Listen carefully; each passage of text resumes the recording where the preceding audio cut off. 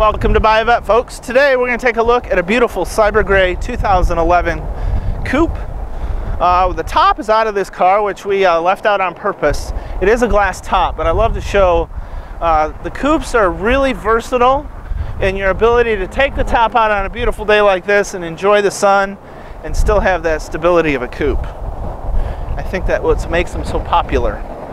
39,000 miles on her. The paint is in very good shape. Nice clear lenses up front and our emblems are in good shape. Stock suspension with the chrome wheels. And this is a 3LT Corvette, meaning that it does have both power seats, power everything, doors, locks, windows, and heated seats as well. This car has the six disc changer. For the top, this top simply sits right here and clicks right in. Not a problem. That way it's nice and stable. There is a little bit of storage underneath. Just like that.